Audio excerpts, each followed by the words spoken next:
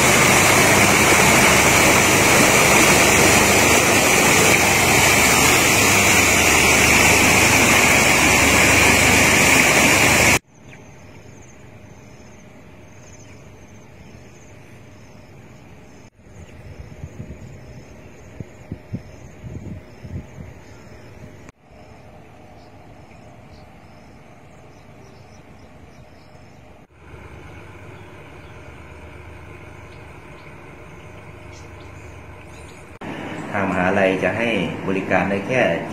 70%นะครับ แล้วก็จะเหลือไว้ถ้าจะเหลือไว้ใช้ในฟาร์ม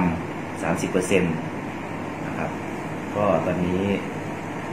ก็ยังมีน้ำในอ่างน้ำตาเหลืออยู่ประมาณอาอาจจะประมาณสัก 50%ของ 2,500ตั้งแต่วันที่ 19นะประมาณทางมหาลัยก็จะ สังเกตสถานการณ์ของน้ำในอ่างอยู่ตลอดนะครับ ว่าถ้ามีปริมาณน้อยลงถึงวิกฤตของเราหรือว่าถึง 30%ที่เราคุยกันตั้งแต่แรกทางมหาลัยก็จะขออนุญาต ในการ